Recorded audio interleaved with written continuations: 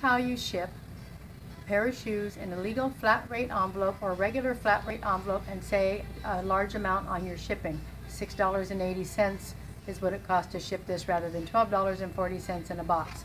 Take your flat rate envelope, it's cardboard. Put your hand inside, grab the corner, pinch it, and pull it up. Do that on both sides.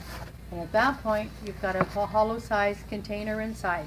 It's flat rate, but does not have to be flat according to the US Post Office. At that point, you take your shoes. This, the legal flat rate will carry a size 12, sometimes up to a 13. Put your shoes this way, wrap them in tissue first. Open your box, slide your shoes inside the box.